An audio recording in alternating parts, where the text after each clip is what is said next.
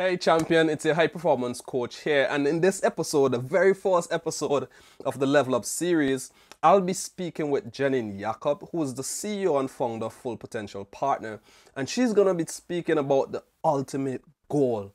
The Greeks usually like to say this is eudaimonia and this is the ultimate form of achievement and she's going to share with you why is it important for us as leaders to know what the ultimate goal is. I'd really love to know what your opinion is in the comment section. So just take a quick listen and tell me what you think. Enjoy. This is Deano Delpleash, your high performance coach, and it's time to level up.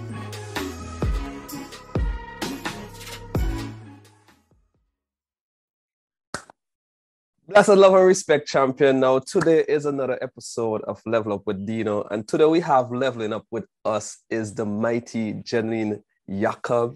Okay, I also like to think of her as the positive, intelligent queen or mental fitness champion. And today we are gonna have a really amazing discussion with her around high performance and how mental fitness play a vital role in becoming a higher performing leader. And just to share with you a bit about who Janine Jakob is for those of you who don't know. Janine Jakob is a high performance coach and an interculture consultant. And she's from the beautiful country of Germany. For those of you who like the German beers and the bread, you know how that is. I don't. And she's also and she's also the founder of the Full Potential Partners Shanghai. After seven years of work, work, work experience at a global Fortune 500 IT company, HP, otherwise known as Hewlett Packard, she also founded Happiness Association Bye Bye Borders in Shanghai, in, in Suzhou. In parallel, she studied a Dublin master's degree in international business at the Germany Munich Business School and French SKEMA business school in Suzhou. And Janine has lived, studied, and worked in France, the USA, Finland, and China. And she is a very passionate founder of an event hosting for several network organizations such as Girl Gone International Suzhou, SheBridge Intercultural Relationship, and the Internation Suzhou.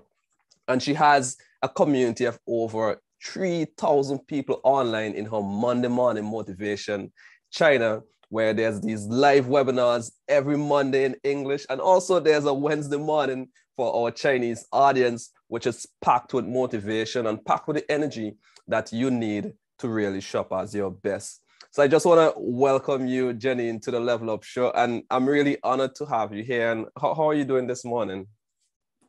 uh, listening to you saying these things, you make it sound so awesome. So now I feel like I'm fully pumped up. With, wow, how awesome that person must be like.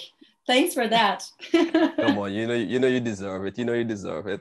But let, let me let me just start with this question.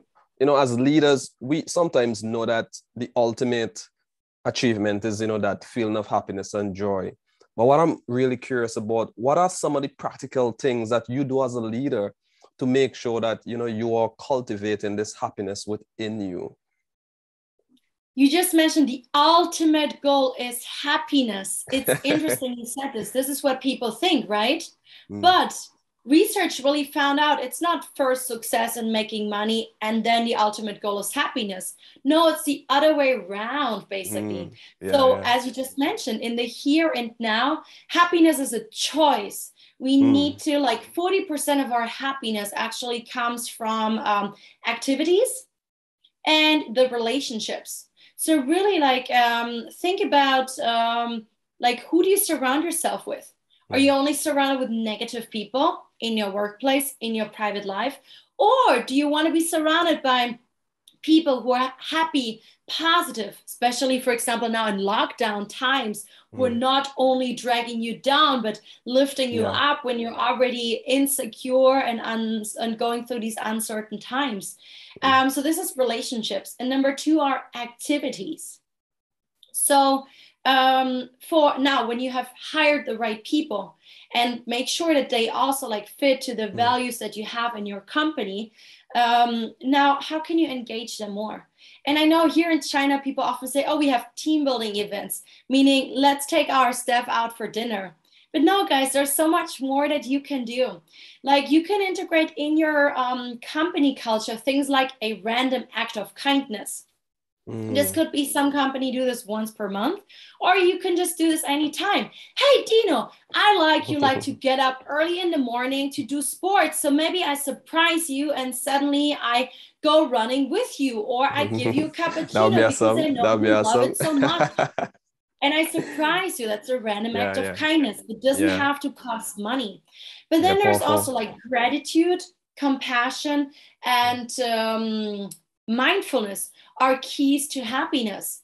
How can you maybe include a mindfulness activities in your workplace? Maybe mindful eating or Mm. like mindful exercises. Yes, I know people always talk about yoga. Come on, guys. Yes, yoga is Mm. great, but there's so much other things that you can do, like in an IT company or uh, with engineers.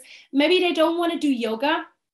Come up with other ideas how you can integrate mindfulness in drinking, in Mm. eating, in mindful conversations. Like now, I'm not checking my two phones at the same time while having this conversation with Deano. No, I'm mindfully focused on you and wanting to talk to you and being compassionate with, like, as leader, for example. Mm. How can I be compassionate and have a compassionate or empathetic leadership style? I'm actually going to give um, a um, a training on that for a big um, chemical company very very soon. Amazing. So yeah, no matter if you're a man, a woman, what nationality you are, uh, don't make excuses. Like everybody can integrate these tiny little things, and Yeah. it doesn't even have to cost you much. No, Mm. not at all. To integrate this and to have a big outcome for your staff, for yourself, and you will you will be able to even measure it in your KPIs. Now, Blessed, if you have made it to the end of the first episode, I want to say congratulations. And I love to hear what you think about what Janine shared. What are your thoughts and opinion about you know happiness being the ultimate goal? And in our next episode, join me as I speak with Alicia Lee As, the CEO and founder of the Soul Well Wellness Center here in Shanghai, where she'll gonna she's gonna share with you what is the ultimate question that we all need to know the answer to. And if you have the answer to this question, you have already solved 80% of your problems. So stay tuned and let's level up. Blessed love and respect, champion. Now, this is your high performance coach here, and I want to thank you for showing up today. Not for me, but showing up for yourself. Because every episode of this show is designed to help you get one step closer in the direction of becoming an even higher performing leader. Living in and from your fullest potential in whatever you do for those you love and for those that you serve. And we are here to help you every step of the way. Now, if you're listening to this show, I believe it's because you are ready to take your performance to another level. And that is why I've created this show as a program in my high performance leader coaching ecosystem to help you master these high performance habits with accountability, structure, and guidance from me as your coach. And it is free for you today as my listener. Join my high performance leader coaching ecosystem right now. Go to levelupwithdeano.com. Again, go to levelupwithdeano.com. And Deano is spelled D E A N O. And if you're listening to this in China you're watching an episode on YouTube, just click the link in the description below. And remember, it is time for you to level up.